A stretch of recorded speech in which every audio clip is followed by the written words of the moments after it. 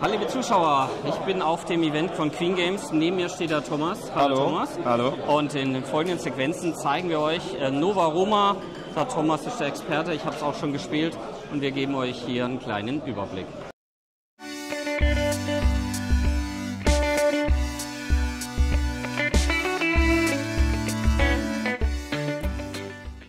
Und hier seht ihr schon das Cover zu Nova Roma. Ja, und ihr habt es vielleicht schon an der Stimme gehört. Neben mir steht der Thomas vom Brave New World, quasi der Store Manager. Richtig, Und genau. da habe ich auch schon ein Video gemacht äh, zu seinem Laden.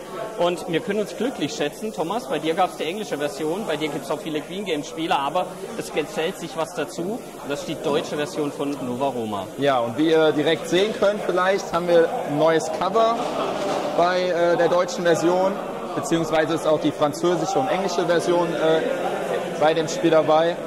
Und ähm, was ebenfalls neu ist in der Version, das seht ihr hier, dass wir jetzt für die Gefolgschaftskarten ähm, neue Illustrationen ähm, von Bemiko haben illustrieren lassen und ähm, Vor allem mehr Karten ja auch, das war ja auch so ein Thema. Ihr habt mehr Karten jetzt auch beigefügt. Ähm, genau, also es war so, dass vorher gab es für äh, vier Karten dieselbe Illustration und wir haben halt jetzt einzigartige Illustrationen für jede Aktion. Und ähm, hierbei ist auch noch zu sagen, dass alles, was ihr hier seht mit den Holzkomponenten, die sind noch nicht final, die ändern sich noch.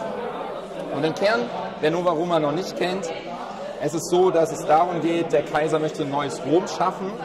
Und das versuchen wir halt zu schaffen und über fünf Runden die meisten Punkte zu erzielen. Ähm, jede Runde wird ein Kaiser platziert auf den markierten Feldern.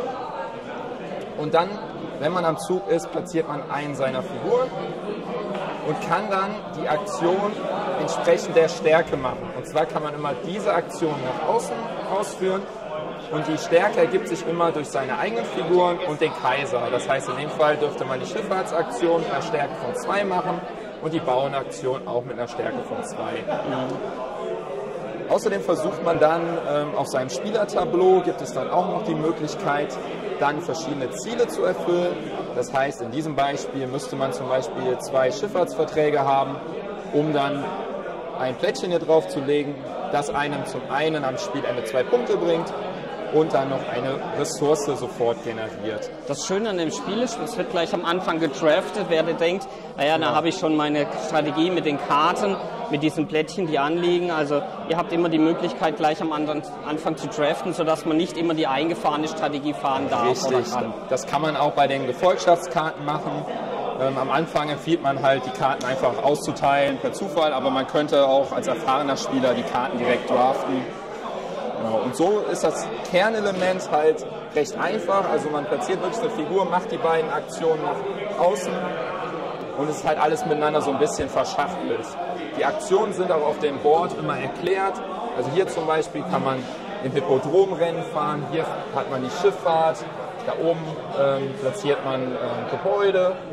Und so versucht man sich in den verschiedenen Bereichen halt auszubreiten, um dann letztendlich nach fünf Runden die meisten Punkte zu erzielen. Es kommt ja hier besonders gut an, das Spiel, was man jetzt auch gemerkt hat. Also mich begeistert es gewissermaßen auch, wobei es ist ein erster Eindruck, wo man auch mal dazu sagen muss. Ähm, es wurde also für diejenigen, die die englische Version haben, durchaus lohnenswert, auf die deutsche Version überzugehen, weil durchaus einige Elemente angepasst wurden. Und der Reiz ist ganz klar auch da, sich hier quasi festzulegen. Man spielt ja über die insgesamt fünf Runden. Man setzt also immer seine drei Leute ein. Thomas muss mich unterbrechen, wenn ihr was Falsches Äh, sagt. sagen wir so, ja, eigentlich nicht. Man setzt immer einen ein, dann ist der nächste dran, setzt eine Figur ein und so geht es im Uhrzeigersinn. Dann ist man der wieder dran und äh, setzt dann halt seinen zweiten ein und dann am Ende den dritten. Genau.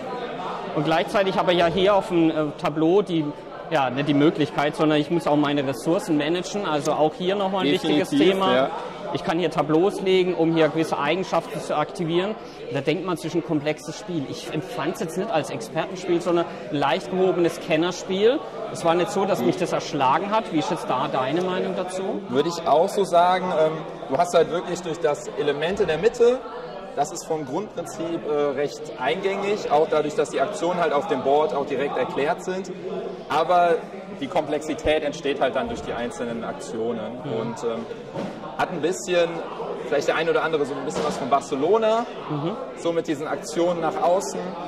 aber dann doch einzigartig mit diesen Kombinationen, weil vor allem kann man hier diese Sachen sind halt variabel. Das heißt, man kann nicht so eine Strategie fahren, sondern muss das immer abhängig davon machen, was halt gerade für Kombinationen ausliegen.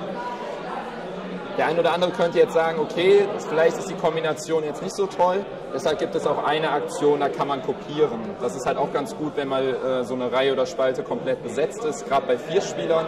Da hat man nochmal so ein bisschen Möglichkeiten, andere Aktionen dann zu machen, die sonst nicht äh, zur Verfügung stehen. Und so ist halt alles, ähm, wie ich finde, sehr schön miteinander verzahnt einfach. Genau, man sieht hier auch nochmal die Rundenübersicht. Also ich habe gern immer so eine Rundenübersicht vor mir, ja. weil da kann man das Spiel sehr gut erklären.